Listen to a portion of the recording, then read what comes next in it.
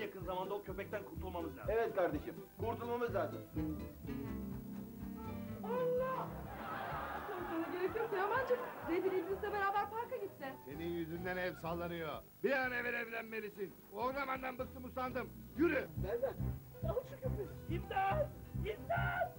Koş! Bu hayvan çıldırmıştır aman kardeş. Ben karımın bu evi temizlemesine müsaade etmem. Tabii canım ben de temizlemem zaten. Sanırım ben evleneceğim ha. O yel elmasında şeytan tüyü var. Köpek yoksa ben de yokum. Yok musun? Nasıl yani? Gidip Zeytin'le ayrı bir ev tutacağım.